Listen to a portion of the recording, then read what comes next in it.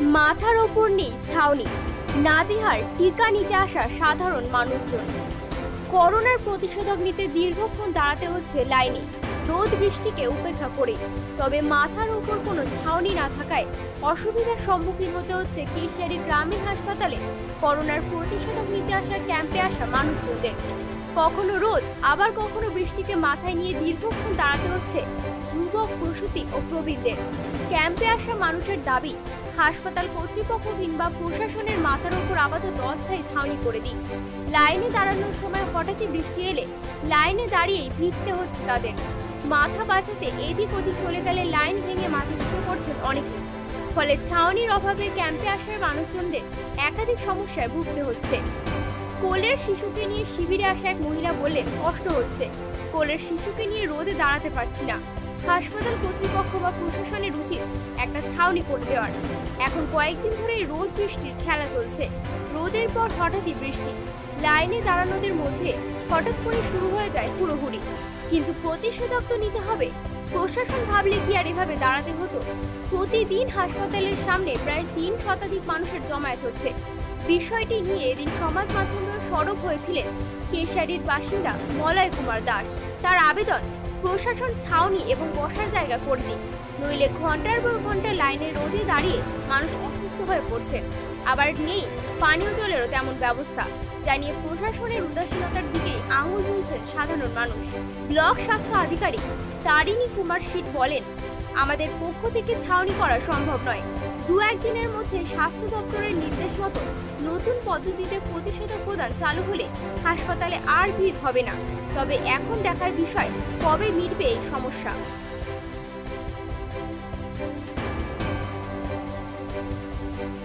এই হাসপাতাল করোনা ভ্যাকসিনের জন্য। এইখানে বসছেন কি কতটা অসুবিধায় আছেন?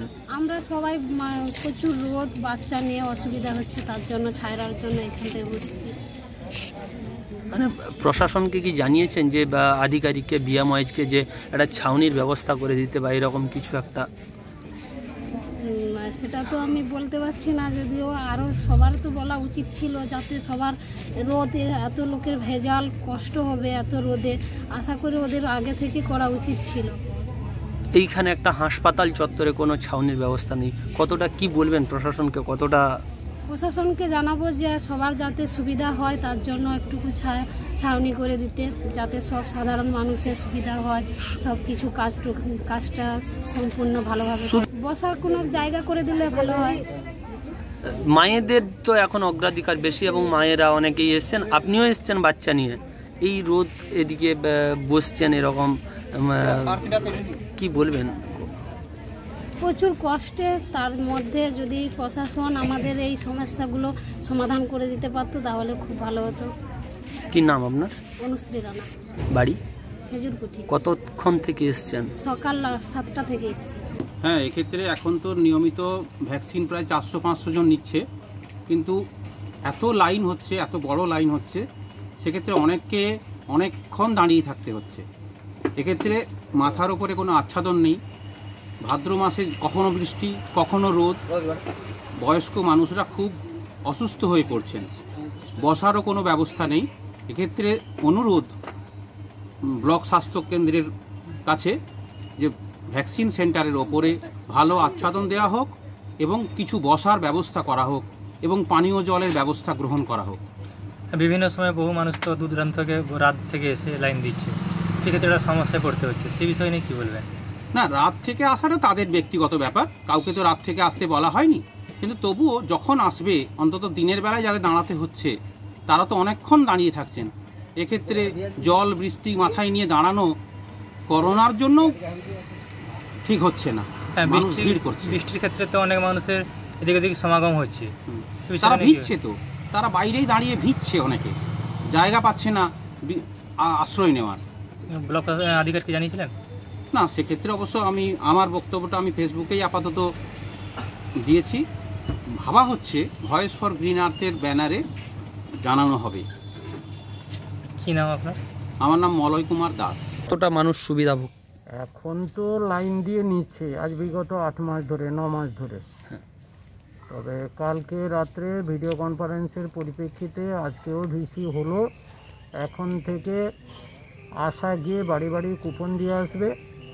আরও অনেক সেন্টার আমাদের ব্লকে ওপেন করা হয়েছে। অনেকগুলো স্কুল বাড়িতে সেখানে ভ্যাকসিন দেওয়া হবে, দুশো করে ডোজ। আসা বাড়ি বাড়ি গিয়ে কুপন দিয়ে আসবে, সেই কুপনের পরিপ্রেক্ষিতে দেওয়া হবে। কোনো সেন্টারে, সিবিসি সেন্টারে আর লাইন দিয়ে দাঁড়াতে হবে না, ভিড় হবে না। কোনো রকম আর এই আনওয়ান্টেড ঘটনা আর ঘটবে না কোথাও। এই যে স্যার দীর্ঘদিন ধরে লাইনে দাঁড়াচ্ছে এবং সাধারণ মানুষের যেটা অভিযোগ যে ওপরে ছাউনি নেই প্রায় সকাল থেকে এসে কে? ছাউনি করবে? কোন হাসপাতালে ছাউনি আছে? না বিভিন্ন জায়গায় যেরকম ছাউনি রয়েছে বা ছাউনি যেটা করতে হবে না তো। এবারে তো এই তো কুপন সিস্টেমে তো হবে। না, এই যে দীর্ঘদিন ধরে এটা হলো বা। আবারও মানুষ ধরুন কালকে এরকম লাইন দাঁড়িয়ে ঝড় বৃষ্টি না এবারে তো কুপনে হবে তো কাল থেকে। কাল নয় পরশু থেকে। না এই যেটা- যা হওয়ার তো হয়ে গেছে। হ্যাঁ এই অভিযোগটা সাধারণ মানুষের অভিযোগ। তো- হলে আমি আর করব কি? আমার আর করণীয় আপনাদের ঊর্ধ্বতন কর্তৃপক্ষকে হ্যাঁ জানিয়েছেন? জানিয়েছি আমার কি ওখানে নিয়ম তো অনেক আছে। ওখানে মাইক করার কথা। জেলা বলেনি আমাদের অনেকে লোকজন বলেছে। যে মাইক করলে ভালো হয় আইসিও বলছিল মাইক করলে ভালো হয় সেট করলে ভালো হয় ওগুলো কোথায় পাবো? খরচাপাতি কে দেবে এত? কোন হাসপাতালে আছে সে? আমি তো দেখি না কোথায়। করলে তো ভালোই হতো। আর এখন তো লাইন দিতেই হবে না। এবার থেকে তো কুপন সিস্টেম না, আজকে যেটা সাধারণ মানুষ কুপনে লেখা থাকবে কে আসবে কখন আসবে বাড়ি বাড়ি দিয়ে আসবে।